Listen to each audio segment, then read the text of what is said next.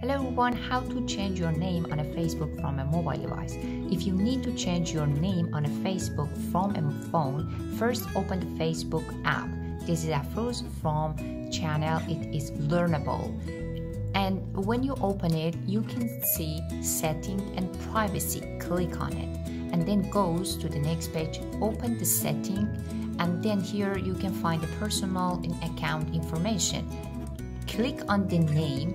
You can change your first name and last name and then save it.